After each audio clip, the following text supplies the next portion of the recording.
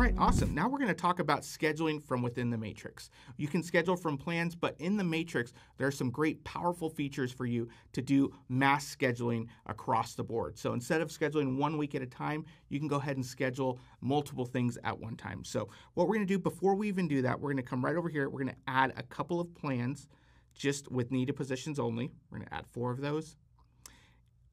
And we're going to see those populate for the months of January.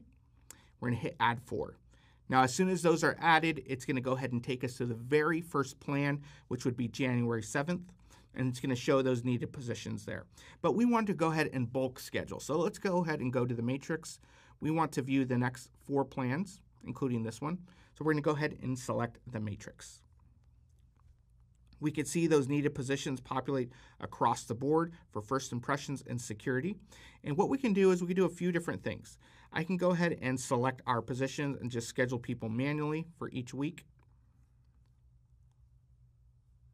I can go ahead and select here and bulk schedule people. So if I want to schedule everyone to a specific role, I can go ahead and do that.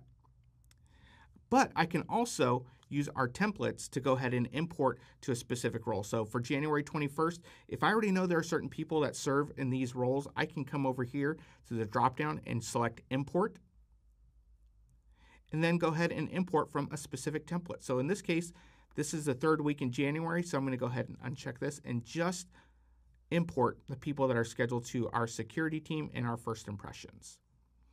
And I'm going to go ahead and hit submit. And as soon as I do that, anything that's in my template is automatically going to be brought over into the January 21st plan. We could see all of those people auto added, which is awesome. Let's do that one more time for January 28th. We'll go ahead and hit this drop down for uh, actions. We're going to hit import. And we have a template specifically for weeks two and four. So we'll go ahead and week, hit week two and four and just select our first impressions and our security, hit submit, and watch those team members populate right away. So good. Now, we want to let them know that they're scheduled. So from here, I can go ahead and select this email icon. And then it's going to pop open a modal where I can go ahead and let these team members know that they have been scheduled.